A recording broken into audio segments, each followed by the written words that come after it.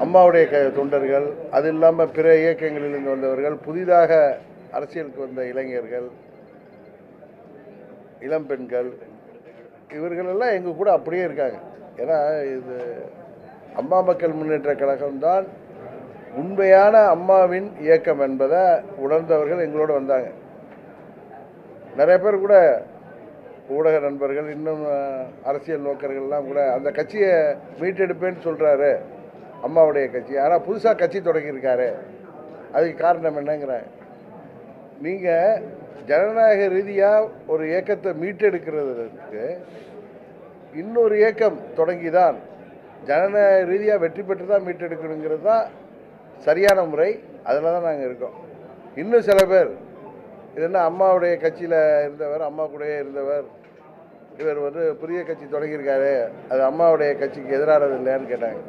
புரட்சி தலைவர். நான் தயவுசெய்து புரட்சி தலைவரோட என்னை ஒப்பிட்டு சொல்கிறேன்னு யாரும் எடுத்துக்க வேணாம். பேரறிஞர் அண்ணா அவர்கள் தலைமையில் திமுக ஆட்சி பொறுப்புக்கு வருவதற்கு தொடர்ந்து ஆட்சியில் நீடிப்பதற்கு ஏன் திரு கருணாநிதி அவர்கள் முதல்வராவதற்கு கூட காரணமாக இருந்தவர் புரட்சி தலைவர் எம்ஜிஆர். அவர் படங்களில் அந்த அண்ணாவுடைய இயக்கத்தை திமுகவை எப்படியெல்லாம் விளம்பரப்படுத்தினார்னு தெரியும். அதே புரட்சி தலைவர் அண்ணா அவர்கள் மறைவுக்கு பிறகு கருணாநிதி அண்ணாவின் பாதையிலேருந்து விலகி தவறான பாதையில் செல்றதுனால தான் அது ஒரு அவர் ஒரு தீய சக்தி திமுக ஒரு தீய தீய சக்தின்னு சொல்லி தனி இயக்கம் கண்டார். அதே போல தான் அம்மாவின் மறைவுக்கு பிறகு எங்களால் முதல்வராகி எங்களால் அமைச்சர்களானவர்கள். அம்மா அவர்கள் ஏன்னா புரட்சித் தலைவர் மறைவுக்கு பிறகு ஜானகி அம்மா முன்னெடுத்தும் அந்த இயக்கம் பிளவுபட்டது ஆட்சி போணுச்சு. ஆனால் அம்மா அவர்கள் மறைவுக்கு பிறகு எங்கள் சித்தியோடைய முயற்சியால் தான் அந்த இயக்கம் ஒன்றாக இருந்தது. திரு பன்னீர்செல்வம் முதலமைச்சரானார் எல்லாருக்கும் தெரியும். திரும்பவும் எல்லோரும் சேர்ந்து எங்கள் சித்தி தான் முதலமைச்சர் ஆகணும் பொதுச்செயலர் ஆகணும்னு கோரிக்கை வைத்ததுனால வேறு வழி இல்லாமல் அவங்க ஒத்துக்கிட்டாங்கங்கிறது தான் உண்மை. அது திரு பன்னீர்செல்வத்துக்கும் தெரியும். அவர் விருப்பப்பட்டு தனது கடிதத்தை கொடுத்துவிட்டு அவர் சொன்ன மாதிரி பிற பிறருடைய தூண்டுதலினால தான் அவர் வந்து அன்றைக்கு தர்மயுத்தம்லாம் தொடங்கினார். இன்றைக்கு அவரே தான் செய்தது தவறு என்பதை உணர்ந்து எல்லோரும் ஒன்றிணையணும் அப்படிங்கிறத ஒரே அணியாக செயல்படும் சொல்கிறார் அப்பொழுது திரு பழனிசாமி எப்படி முதலமைச்சரானார்னு தெரியும். அவர் அம்மாவின் பாதையிலிருந்து விலகி தவறான பாதையில் சென்ற காரணத்தினால்தான் வேறு வழி இல்லாமல் உருவாக்கப்பட்ட இயக்கம் தான் அம்மா மக்கள் முன்னேற்ற கழகம். நீங்கள் கேட்கலாம் பழனிசாமி தானே நீங்கள் எதிர்க்கட்சி தலைவராக இருக்காரு. அம்மா விட அதிகமாக எழுபது சீட்டு வாங்கியிருக்காருன்னு. அதுக்கு நான் ரொம்ப நாளாக சிரிச்சுட்டே வெயிட் பண்ணேன். ஏன்னா அதே ஈரோடு மாவட்டத்தில் அம்மா வந்து ஜார்ஜேன்னு பிரிஞ்சிருந்தப்ப புதிய சின்னமான சேவல் சின்னத்தில் போட்டியிட்ட போது தமிழ்நாடு முழுவதும் இருபத்தெட்டு இடங்களில் வெற்றி பெற்றாங்க. அதில் ஐந்து இடங்கள் ஈரோடு மாவட்டத்திலிருந்து தான் வெற்றி பெற்றாங்க. அந்த தொகுதியிலே அந்த மாவட்டத்தில் இன்றைக்கு பழனிசாமி கம்பெனி எங்களுக்கு வலுவான பகுதி அது அப்படின்னு சொல்லிட்டு இருந்தவங்க எவ்வளவோ பகிரத முயற்சி செய்தோம். நீதிமன்றமே உச்சநீதிமன்றமே அவர்களுக்கு இரட்டை இலை சின்னத்தை கொடுத்தோம். திமுக ஆளுங்கட்சி திமுக இணையாக அங்கே களத்தில் எல்லா பொருளாதார செலவுகள் செய்தும் அவர்களால் அறுபத்தி ஆறாயிரம் வாக்கு வித்தியாசத்தில் தான் அவர் திமுக வென்றிருக்கு. காரணம் திமுகவுக்கு அறுபது மாதங்களில் வர வேண்டிய கெட்ட பெயர் மக்கள்கிட்ட வெறுப்பு இருபது மாதங்களே வந்த பிறகும் இவர்களால் அதை மெட்டீரியலைஸ் பண்ண முடியல. இவங்க வந்து நாங்கள் தான் பிரதான எதிர்கட்சின்னு சொல்லி அங்கே முன்னாள் அமைச்சர்கள்லாம் எப்படி ஆர்கே நகரில் வந்து அப்போ அமைச்சராக இருந்த ஒர்க் பண்ணாங்களோ அது மாதிரி பண்ணியும் எல்லாவித முயற்சிகளும் செய்தோம் பகிரத முயற்சி செய்தோம். அவர்களால் அந்த மார்ஜினை குறைக்க முடியல. நான் நினச்சேன் ஒரு இருபத்தஞ்சாயிரம் ஓட்டு முப்பதாயிரம் ஓட்டில் தான் திமுக வெற்றி பெற வாய்ப்பு இருக்குன்னு.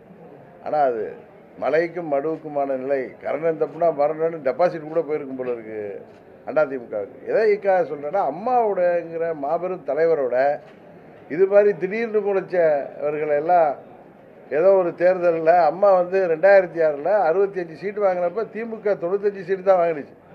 மைனாரிட்டி கவர்மெண்ட்டு தான் அப்போ திரு கருணாநிதி அவர்கள் அமைத்தார் மாபெரும் தலைவரோட போய் ஒப்பிடுறதே உண்மையாக வருத்தமாக இருந்துச்சு. இன்றைக்கு ரெட்டையில் இருக்கின்ற காரணத்தினால்தான் அதிமுகங்கிற கட்சி அந்த பில்டிங் இருக்கிற காரணத்தினால தான் அம்மாவின் தொண்டர்கள் என்ன செய்வது என்று தெரியாமல் அங்கே தவறுகள் எல்லாமே தவறு என்பது தெரிந்து வேறு வழி இல்லாமல் இருப்பவர்கள் கூட இன்றைக்கு உணர ஆரம்பித்திருக்கிறார்கள். இரட்டை இலை சின்னம் பழனிசாமிக்கே நிரந்தரமாக கொடுக்கப்பட்டாலும் அது பலவீனம் அடைந்து வருகிறது. அவர் ஆட்சி பொறுப்பை ஏற்றதுக்கு பிறகு எவ்வளவோ பணபலம் ஆட்சி அதிகாரம் இருந்தும் அவரால் எவ்வளவோ செலவு செய்தும். அவர்களால் ஆட்சியை தான் காப்பாற்றி கொள்ள முடிஞ்சிச்சு மத்திய அரசு உதவியோட தவிர ஆட்சி இழந்திருக்கிறாங்க. அதுதான் உண்மை. இன்றும் காலம் அது பலவீனப்பட்டு பிறகுதான் அவர்கள் உணர்ந்துதான் திருந்துவார்களே தவிர அதுவரை நான்கு ஆண்டுகளிலே அவர்களுக்கு கிடைத்த பணபலத்தால் மோதி பார்ப்பார்கள். அவர்களே மலையோடு மோதி மண்டை உடைத்துக் கொள்வார்கள். திமுக என்கிற தீய சக்தியை அம்மாவின் உண்மையான தொண்டர்கள் அனைவரும் ஓரணியில் திரண்டு ஓரணினா ஒரே கட்சியான்னு கேட்பீங்க? இல்லை. கூட்டணியாகவோ ஓரணியில் கூட்டணியாக திரண்டு உறுதியாக திமுகவை வரும் காலத்தில் வீழ்த்துவோம் என்பதுதான் அம்மா மக்கள் முன்னேற்ற கழகத்தின் இந்த ஆறாவது ஆண்டு தொடக்க நாள் உறுதிமொழி. அம்மாவுடைய தொண்டர்கள் எங்கெங்கே எத்தனையோ ரூபத்தில் இன்னைக்கு பிரிஞ்சு இருக்கிறவங்க எல்லாம் ஒரு அணியில் சேருவாங்கன்னு சொன்னாங்க. உண்மையான தொண்டர்கள் எல்லாமே ஒரு சில நிர்வாகிகள் வருவதும் போவதுமாக இருக்கிறாங்க. சமீபத்துல கூட சில நிர்வாகிகள் வந்து பிரிந்து அதிமுக இணைந்திருக்கிறாங்க. ஆமாம் அவங்களுக்கு என்ன அவங்க என்ன அது அவர்களுக்கு என்ன சொல்ல முடியும்? சிலர் வந்து அரசியலுக்கே புதிதாக வந்து நமது இயக்கத்தில் தான் பதவியெல்லாம் கொடுத்துருந்தோம். ஏதோ சில அவர்கள் ஏதாவது ஒரு க- இன்னொரு கட்சிக்கு போகிறது ஆயிரம் காரணம் இருக்கலாம். ஏன்னா நம்மளோட ஐந்து ஆண்டுகள் பணியாற்றியவர்கள் எல்லாம் நம்ம குறைய சொல்லக்கூடாது. அவர்களுக்கு நல்ல பொறுப்பு கொடுத்து மரியாதை தான் வச்சுருந்தோம். அவர்கள் ஏதோ காரணங்களால் போகிறாங்க சொந்த காரணங்களால் தான் போயிருக்காங்க. உடனே அந்த இடத்துல அவர்களை விட திறமையான சிறப்பான நிர்வாகிகள் உடனே நாங்கள் நியமிக்கிறோம். யாரோ ஒரு சிலர் தங்கள் சுய காரணங்களுக்காக செல்வதை நம்மால் ஒன்றும் செய்ய முடியாது. ஏன்னா முத நாள் இரவு வரைக்கும் எங்கள் கூட இருந்துட்டு கால்புறம் திடீர்னு அந்த பதவி பதவி இல்லாமல் போனாங்க மரியாதை இப்போ இப்போ அவங்களுக்கு என்ன பெரிய மரியாதை கிடைச்சிருமோன்னு எனக்கு தெரியாது. இங்கு அவர்கள் நன்றாக இருந்தவர்கள். நம்ம விட்டு சென்று விட்டார்கள். அதனால் ஒன்றும் இந்த இயக்கம் அதனால் இன்றைக்கும் யாராரோ போனாங்க நீங்களாம் தூண்னு சொன்னீங்க. தூண்லாம் போய் இப்போ இருக்கிற இடமே தெரியலாங்க இந்த இயக்கம் நீங்கள் கேட்டீங்க. எத்தனையோ கட்சிகள் ஆரம்பிக்கப்பட்டு ஓராண்டு இராண்டிலே காணாமல் போயிடுது. உங்கள் இயக்கம் எப்படி ஆறாவது ஆண்டில் அடியெடுத்து வச்சுருக்குன்னா அதுக்கு காரணம் இங்கே இருக்கிற தொண்டர்கள் தன்னலமற்ற எதையும் எதிர்பார்க்காத அம்மாவின் கொள்கைகளையும் லட்சியங்களையும் தொடர்ந்து கொண்டு செல்வதற்காக வந்திருக்கிற தொண்டர்கள். நாங்கள் எங்களது வழி நேர்மையான வழி நாங்கள் நிச்சயம் உறுதியாக வெற்றி பெறுவோம். தொண்டர்களுக்கு நீங்க வந்து ஒரு ஆறாவது ஆண்டு தொடக்க ஒரு மடல் எழுதியிருந்தீங்க அந்த மடல்ல வந்து அதிமுக பலவீனப்பட்டு வருவதை பற்றி துளியும் கவலைப்படாமல் துரோக சக்தியின் கூட்டம் வழக்குகளிலிருந்து தப்பித்துக் கொள்ள தீய சக்திகளுடன் சமரசம் அடைந்து விடுவது கண்கூடாக தெரியும் ஆமா. தீய சக்தி திமுக தானே? இதுனா இதுனா விடிய விடிய கதை கேட்டுட்டு கடைசியாக நம்ம ஃப்ரெண்டு வந்து அவங்க சமரசம் ஆமாம் அடைஞ்சிருக்காங்க அதில் இப்போ திரு ஸ்டாலின் அவர்கள் எதிர்க்கட்சி தலைவராக இருந்து தேர்தல் அறிக்கையில் இதுவரை கேள்விப்படாதவர் என்ன சொன்னாங்க? நாங்கள் வந்து வந்த உடனே ஆட்சி பொறுப்புக்கு வருவோம். தனி நீதிமன்றம் அமைத்து இந்த ஊழல் அமைச்சர்கள் மேலெல்லாம் வழக்கு தொடர்ந்து எல்லாம் உள்ளார போவாங்கன்னாங்க. இது வழக்குங்கிறது வந்து ஒரு பூச்சாண்டி மிரட்டல். நான் அதனால் இவர்களெல்லாம் எங்கள் பழைய பங்கெல்லாம் உள்ளார போகணுங்கிற சென்ஸில் சொல்லலை. இவர்கள் மடியில் கனம் இருக்கிறதுனால எல்லாம் அந்த இன்னைக்கு எஃப்ஐஆர் ஸ்டேஜில் உள்ளதெல்லாம் சார்ஜ் ஷீட் ஆகிடக்கூடாதுங்கிறதுக்காக சமரசம் செஞ்சுட்டு இருக்காங்க இப்போ நீங்கள் திரு பன்னீர்செல்வத்தோட எடப்பாடி பழனிசாமி சண்டையிடுவதற்கு காரணம் என்ன? கட்சியை பலப்படுத்தி தான் ஒரு யூனிட்டுக்கு தலைவராக இருந்துக்கிட்டு இப்போ அம்மாவுடைய இயக்கம் தலைவர் இயக்கம் தமிழ்நாடு முழுவதும் இருந்த இயக்கம் இன்றைக்கு பழனிசாமி தலைமையில் ஒரு பிராந்திய கட்சியாக தானே ஒரு வட்டார கட்சியாக இன்னும் சொல்லப்போனால் ஒரு சமுதாயத்தைச் சேர்ந்தவர்கள் தான் அதில் முடிவுகள் எடுக்கிற நிலமை இருக்குங்கிறது தெரியும். அதுதான் உண்மை யதார்த்தம். அதுக்கு காரணமே திமுகவை எங்களை ஒன்றும் செஞ்சிடாதீங்க. அண்ணா திமுக திருப்பி ஆட்சிக்கு வராமல் நாங்கள் பார்த்துக்குறோம் ரெட்டை இலை சின்னம் கூட கூட அவர் விரும்பாமல் நாங்கள் இதாக நிற்போன்னாரு அவங்க சைட்லேருந்து அப்படி தான் அவங்க பேசிக்கிட்டு இருந்தாங்க.